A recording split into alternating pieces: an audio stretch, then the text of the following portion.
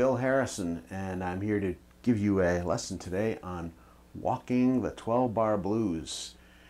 We're going to be in the key of C, and this is a traditional sort of blues with uh, just our old friends 1, 4, and 5 chords.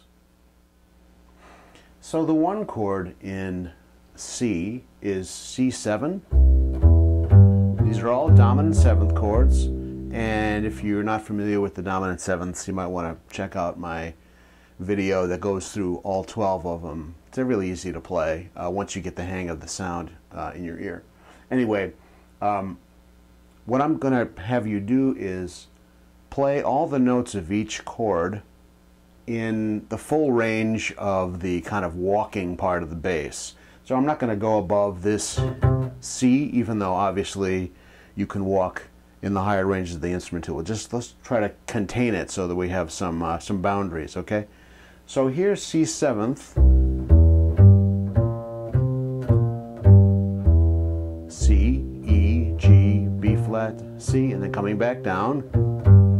Now don't forget the notes below this root, okay? So we have a B flat, a G, and an E. So we have almost a full another octave. We just don't. We're just missing the low C on a four-string bass uh, to, to complete the second octave. So you got a lot of chord tones on the C seventh. The four chord is F7.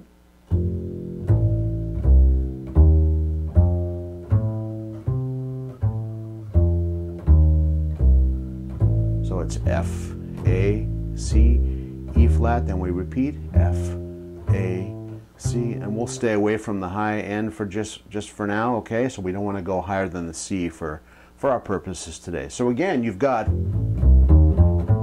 almost two full octaves of just the chord tones, right? And then finally, G7, the five chord, is G, B, D, F, and then repeat the G, and then the B. We won't go any higher for now. So coming down, and then don't forget we have a nice seventh, very powerful note underneath this G. So we don't have quite two octaves, but most of it. This is a good this is a good key to do this in because we're kind of already towards the bottom of the bass in the key of C. E flat would be more difficult because you've got a you know you only have the one E flat here and the one D flat unless you really want to move out of position. So we've got some some good leverage in uh, in this key. The reason we start with the chord tones is that you can't get any clearer with the harmony than actually playing on the chord tones, right? So you, you know, it's it's easiest to outline the chords if you're just going to play on the chord tones. So here's what that sounds like.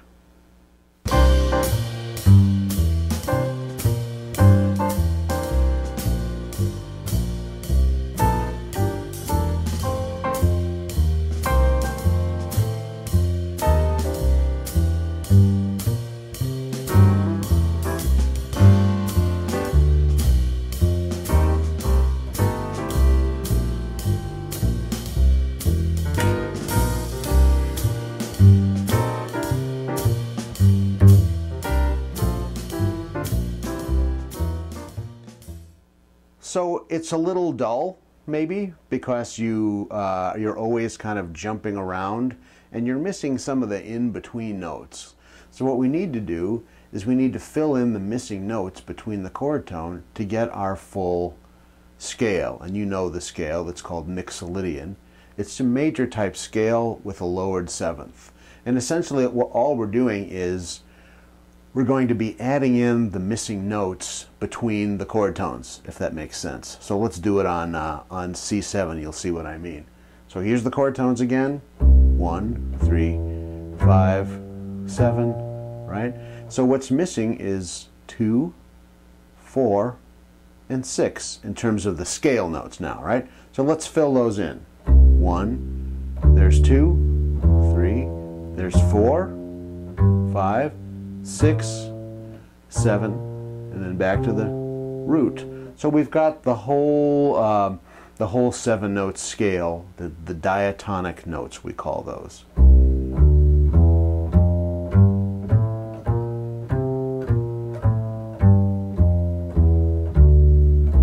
So that's it in the key of C. Let me quickly run through them uh, on the F7, the 4 chord, and the G7, the 5 chord, just so you'll, you'll have the notes. All right? So again, F7th, just the arpeggio.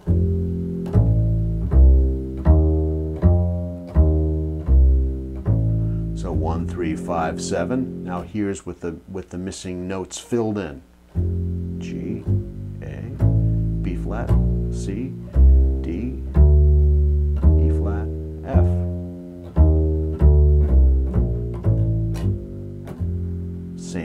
Same same sounding scale, just now with F as the root. And then finally our five chord G7. Here's the here's the um, arpeggio again. And now here's the G Mixolydian. I'm going to fill in the missing notes.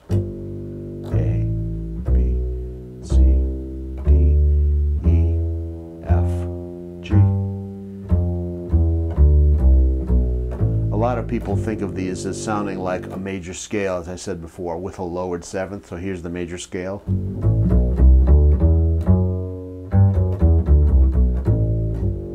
And here's the Mixolydian.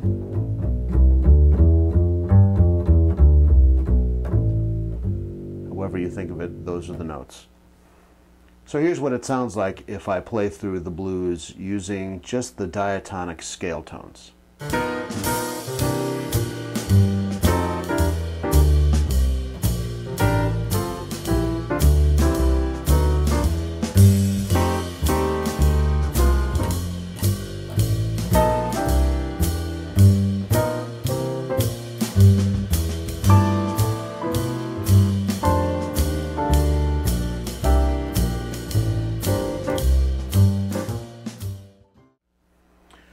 Well, that's a little better, a little more freedom, but it's still missing some flavoring. I think uh, it's missing the you know the cool jazz notes that everybody wants to be able to play, and uh, because they sound really cool.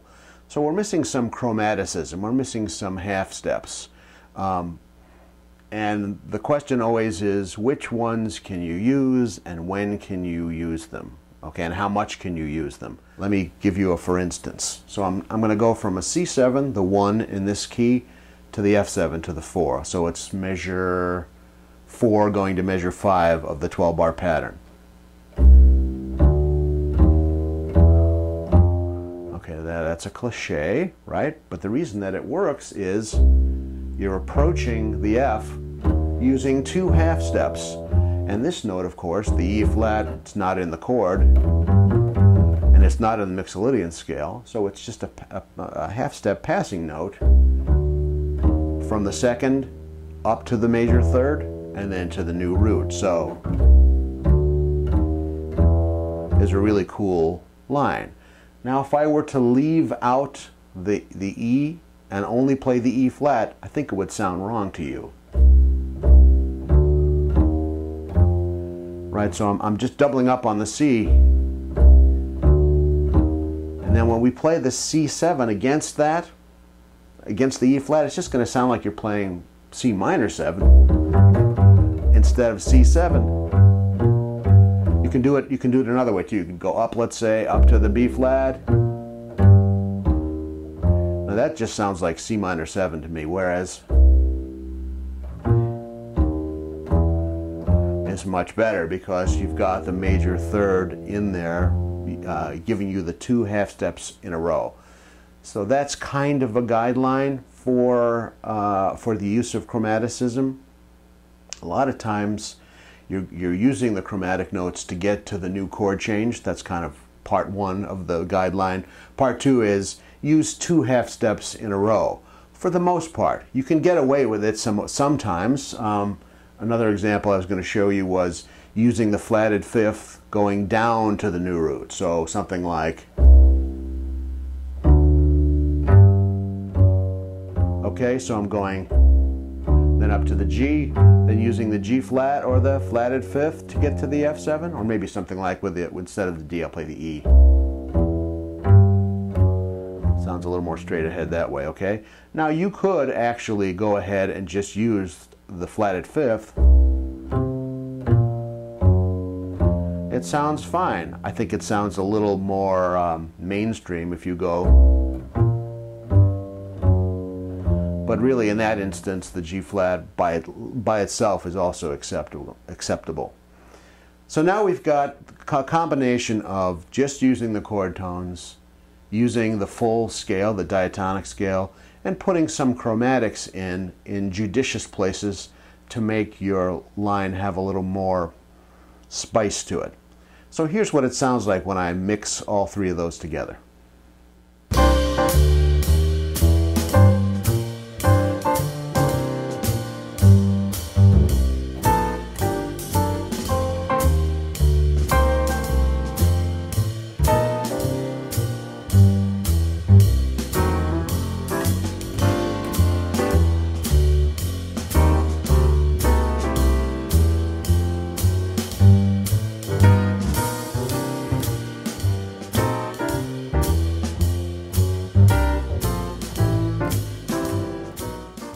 So when you use the chromatic notes kind of more as a flavoring instead of the main dish, it really, I think, really makes uh, makes it sound special. How much chromaticism do you use?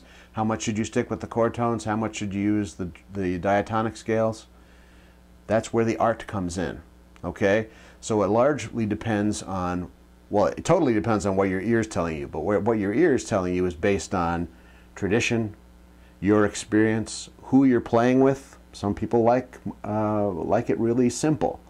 Um, listening to other players to decide, hey, I want to. I like the way Ray Brown uses chromaticism, or I really like the way Christian McBride uses it, and and emulating and transcribing the people that you really like to hear. Um, so really, that that part of it is up to you. I can't give you any rules for when to, to when to do it and when not to do it but that's where the, the, the, practice time and the experience and the listening to other players really comes into the mix. So I'm going to go out and play a couple choruses for you. I hope, I hope this helps, and um, happy walking.